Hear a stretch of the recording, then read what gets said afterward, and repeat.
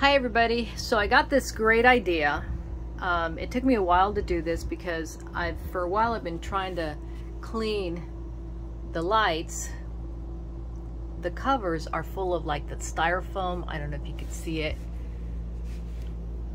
Let's see if I can block a little bit of the light. Anyways, full of styrofoam. Maybe if I go back a little bit. Anyways, trust me, it's full of styrofoam. So I couldn't figure out how to get it out because if you put your hand on there, your hand slips.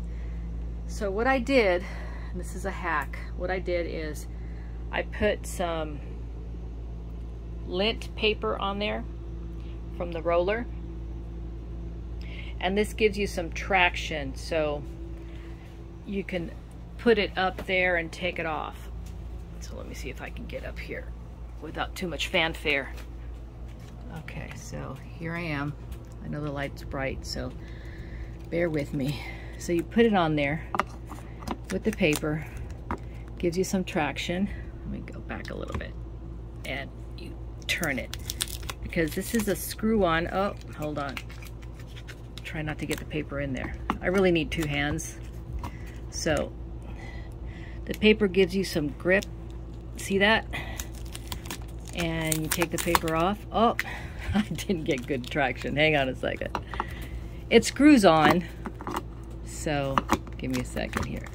You push up and you turn it until it stops. There you go. And it's on there. And you just take off the paper and go on to the next light. And it's clean. Let's see if you could tell this one, what I'm trying to do here. See, there, you can see all that, all those particles on there. So you put this on there. And I don't know if it's gonna have enough grip, but it turns. Remember, righty-tighty, lefty-loosey, so you can get a grip. I think my right hand is stronger. Well, actually, I undid it with two hands. Anyway, you get the picture. I do it with two hands, I get it off, I clean it, I put it back on. So, um, you turn it clockwise to tighten it. Oh, look, it's loose. Wow, it's loose. Let's see if it'll come off. Yeah, there you go. See, it makes it a whole lot easier. Okay, I just wanted to give you that, that little tip, that little hack, um, because for a long time I've been trying to clean these little lights, but my hand kept slipping. So, you turn it counterclockwise to loosen it up because it's a screw-on type. Let me see if I can get the little little groove on there. You see it's screwed on.